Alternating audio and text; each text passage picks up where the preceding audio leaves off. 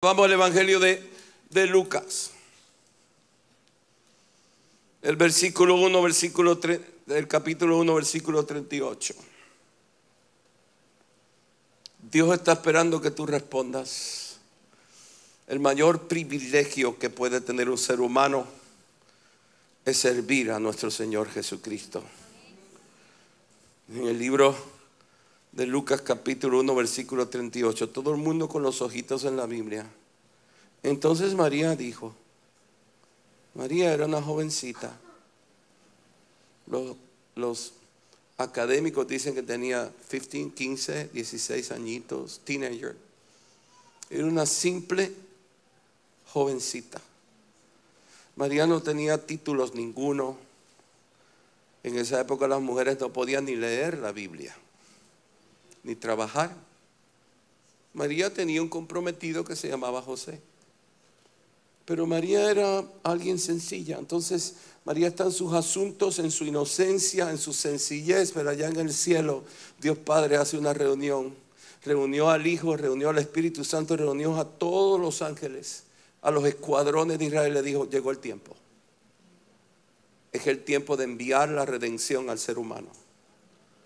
Hijo, necesito que te encarnes. Ahora escucha bien. La única manera de entrar al cielo es a través de Jesús. Pero la única manera de entrar en la dispensación humana y en el tiempo es a través de una mujer.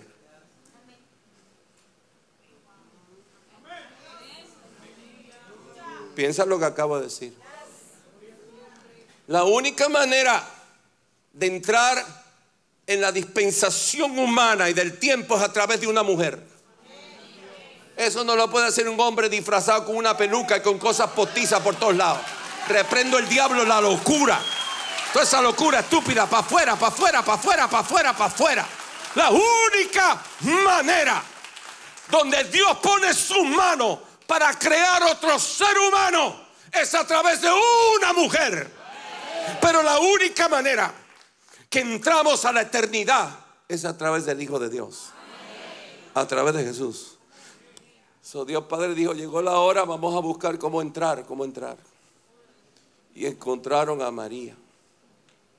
María era joven, pero María, mira, mira la respuesta de María. El ángel la visita, le dice, el Señor te está llamando. El Hijo se va a encarnar. Necesita un cuerpo de mujer. ¿Qué tú dices, María? Esa es la invitación. Yo sé que en la aldea se va a formar el bochinche. Yo sé que José va a salir corriendo. Yo sé que tu papá se va a poner bien bravo. Yo sé que, que yo sé que te esperan tiempos difíciles, pero tranquila, que el Señor es fiel. Le dice, yo no sé cómo va a pasar eso, porque yo no conozco hombre, yo no sé cómo va a pasar. Es tranquila, no te preocupes cómo va a pasar. Cuando tú le dices sí al Señor, Él se encarga de hacer todo lo que tú necesitas para que pase lo que Él te pidió que pasara. Y mira la respuesta. Entonces María dijo, he aquí la sierva del Señor. Hágase conmigo conforme a tu palabra. Eso es lo único que Dios necesitaba. Cuando ella dijo esas palabras, el ángel se fue y le dijo a Dios, ya está, ya la tenemos. El poder de obediencia de una mujer, de una jovencita. Dios usa a los que están dispuestos. Dios nos llama a los preparados. Dios prepara a los que respondieron sí al llamado. El mundo no entiende esto porque el mundo, tú sabes, viene que si el PhD, que si no sé qué di, que si la preparación, que si los títulos, que si el orden y la religión, que si esto, que si lo otro, que si aquello, que si lo otro. Mira qué privilegio más grande que dentro de ti esté Dios formándose como ser humano. Ella no tenía preparación ninguna, pero ella tenía un corazón de sierva. Un corazón de sierva. Y ella lo hizo en su libertad. Dios se sintió honrado por ella.